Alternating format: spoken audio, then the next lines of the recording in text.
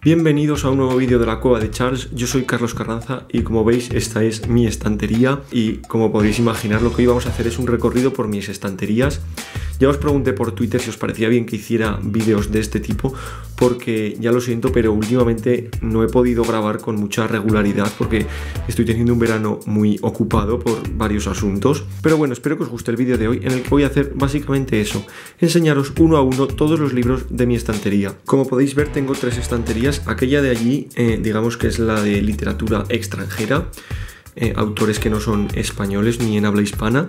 Y ahí abajo tengo una serie de cómics. Después tengo esta segunda estantería que sería mi estantería de literatura española e hispanoamericana. Y bueno, si os parece, como os decía, vamos a ir viendo todos los libros uno a uno y vamos a empezar por esta estantería de aquí pequeña en la que solo tengo mi pequeña colección de J.R.R. Tolkien. Como podéis ver aquí tengo algo de merchandising del Señor de los Anillos y creo que voy a quitar estas figurillas de aquí porque como voy a estar moviendo los libros mm, no me gustaría nada que se me rompieran. En primer lugar tengo Los Hijos de Urin, El Hobbit, El Silmarillion, La Comunidad del Anillo, Las Dos Torres, y por último, El Retorno del Rey. Y ahora vamos con esta estantería que es en la que os decía que tenía literatura extranjera y libros ilustrados y cómics. Empezamos por aquí arriba, Los Borgia, Fama e Infamia en el Renacimiento de Iván Cloulas, Memorias de una geisa de Arthur Golden, La sombra de la catedral de Milos Urban, Soñadores de Gilbert Ader, La historiadora de Elizabeth Kostova, Ángeles y Demonios, El Código da Vinci y La Conspiración, los tres de Dan Brown, Un lugar afortunado de Loredana Limone, La Ilíada y la Odisea de Homero, una colección de obras selectas de Lewis Carroll, Cumbres borrascosas de Emily Bronte, Sandokan, Los Tigres de Malasia y La Perla del Río Rojo, los tres de Emilio Salgari, Star Wars Episodio 3, La Venganza de los Sith de Matthew Stover, La Habitación de Ámbar de Steve Berry, El Bar de las Grandes Esperanzas de J.R. Mouringer, Las Interminencias de la Muerte de José Saramago, Euforia de Lily King, Erecciones, eyaculaciones, exhibiciones de Charles Bukowski, La isla misteriosa de Julio Verne, La insoportable levedad del ser de Milan Kundera y El perfume de Patrick Suskin. Continuamos con este segundo estante en el que tenemos en primer lugar La música del silencio de Patrick Rothfuss, Eragon y Eldest de Christopher Paolini, El último deseo de Andrzej Sapkowski, Flora y Ulises y El verano de Raimi Nightingale de Kate DiCamillo, el arte de ser normal de Lisa Williamson, El enigma Vermeer de Blue Valiant, El secreto de Endymion Spring de Matthew Skelton, Los elegidos, La oscuridad y El círculo de fuego de Marian Carley, Coraline de Neil Gaiman, Invierno asesino de Kate A. Burman, La reina roja de Victoria Aveyard y seguimos con El lado oscuro, El lado salvaje y El lado perdido de Sally Green. La piedra del monarca de Arthur Balder, Hacia el norte de Donna Jonapoli, Eleanor Park de Rainbow Rowell, Gritaré tu nombre de Carole Cozzo, Las ventajas de ser un marginado de Stephen Chomsky, La lección de August y la historia de Julian de R.J. Palacio, El sueño de Tini Cooper de David Levithan, Mentiras peligrosas de Becca Fitzpatrick, El corredor del laberinto de James Darsner, La princesa prometida de William Goldman, Tres metros sobre el cielo de Federico Moccia, Entre tonos de gris de Ruta Sepetis y Stardust de Neil Gaiman. Y ahora venimos a mi estante de J.K. Rowling o de libros relacionados con Harry Potter. Y empezamos con Harry Potter Film Wizardry, Harry Potter el gran libro de los lugares mágicos, la versión ilustrada de Harry Potter y la piedra filosofal con ilustraciones de Jim Kay, Harry Potter y la piedra filosofal, Harry Potter y la cámara secreta, Harry Potter y el prisionero de Azkaban, Harry Potter y el cáliz de fuego, Harry Potter y la orden del Fénix, Harry Potter y el misterio del príncipe y Harry Potter y las reliquias de la muerte. Por aquí seguimos con la nueva edición de Harry Potter y la Orden del Fénix con este nuevo diseño de las portadas, los cuentos de Videl el Bardo, animales fantásticos y dónde encontrarlos y Quidditch a través de los tiempos, Harry Potter and the Half-Blood Prince y Harry Potter et le Relique de la Mort, que es el único libro de la saga que tengo en francés. Por último, aquí tenemos Los Mundos Mágicos de Harry Potter de David Colbert, una edición no autorizada por J.K. Rowling, El Diccionario del Mago, El Gusano de Seda de Robert Galbraith, El Canto del Cuco de Robert Galbraith y Una vacante imprevista de J.K. Rowling.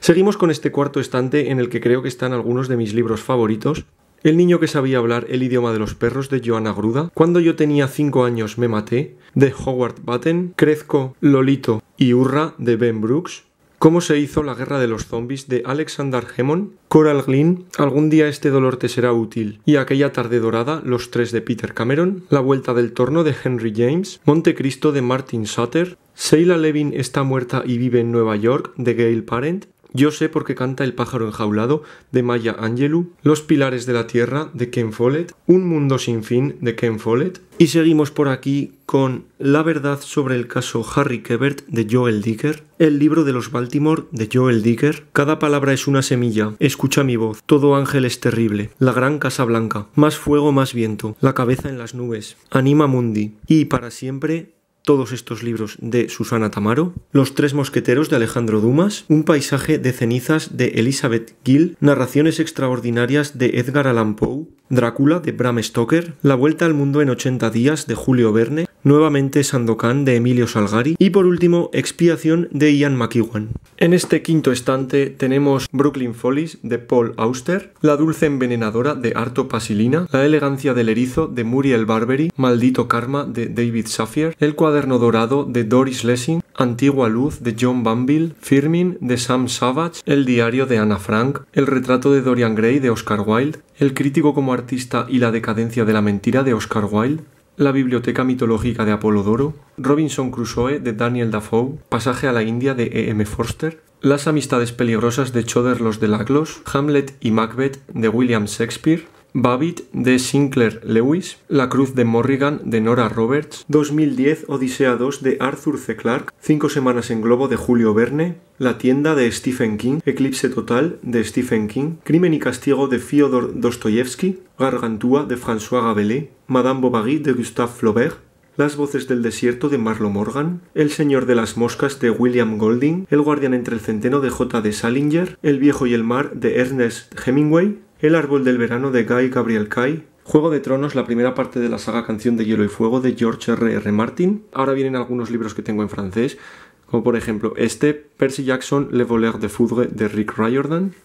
Esta edición de Le Comte de Perrault, La Delicatesse de David Fuenquinos, Le Petit Nicolas de Sempe y Rossini y Terre des Hommes de Antoine de Saint-Exupéry. Y llegamos por fin a este último estante. Como os decía, aquí tenemos varios libros ilustrados, varios cómics y algunos libros infantiles, algunos de los libros de mi infancia. En primer lugar tenemos Mirabilia Eres tú de Conrad Rosset y Milena Nono, Watchmen de Alan Moore y Dave Gibbons, la broma asesina de Alan Moore y Brian Bowland, V de Vendetta de Alan Moore y David Lloyd, el Señor de los Pardillos de varios autores, El cielo se nos cae encima, una historia de Asterix de Goscinny y Uderzo, 813 Truffaut por Paula Bonet, En busca de la felinidad de Eva Hinojosa con ilustraciones de Álvaro Ortiz, Todo lo que nunca te dije lo guardo aquí de Sara Herranz, Star Wars Clásicos 1, el primer cómic de Walking Dead, Sin City La Gran Masacre y Sin City El Duro Adiós de Frank Miller, Murderabilia de Álvaro Ortiz, El azul es un color cálido de Julie Magot, Vida Indie, Manual de estilo de Mario Suárez y Ricardo Cabolo, Este libro te quiere de PewDiePie, el hematocrítico de arte. Antes de que te vayas, quiero decirte de Miss N y Elena Pancorvo.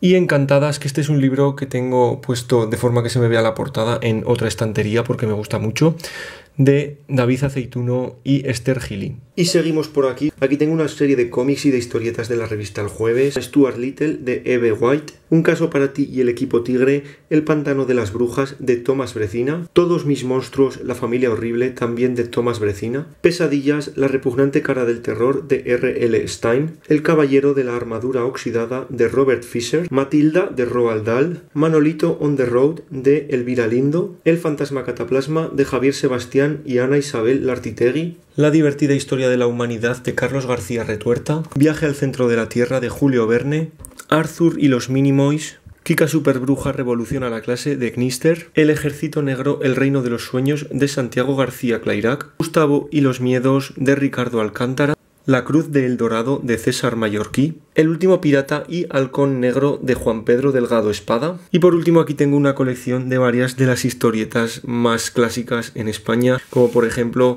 Mortadelo y Filemón de Ibáñez, Super López de Han, Zipizape de Escobar, o mi favorita de todas ellas, 13 Rue del Percebe, también de Ibáñez. No os las enseño todas porque más o menos estas que os he dicho son las más representativas y este ha sido mi pequeño recorrido por la primera de mis estanterías. Espero que os haya gustado y que hayáis encontrado algún libro interesante. Si hay alguno que os interesa especialmente, por favor decídmelo en los comentarios y procuraré hablaros de él en próximos vídeos. Y bueno, en un próximo vídeo os enseñaré mi segunda estantería en la que, como os decía, pues hay literatura española e hispanoamericana. Pero bueno, no os digo nada más, espero que os haya gustado este vídeo y nos vemos en el próximo vídeo de la cueva de Charles. Adiós.